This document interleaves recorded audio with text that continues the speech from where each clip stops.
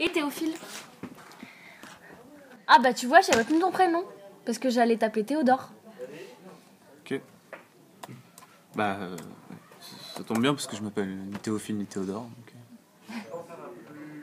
Ah. Ouais. Mais c'est du coup c'est Andreas?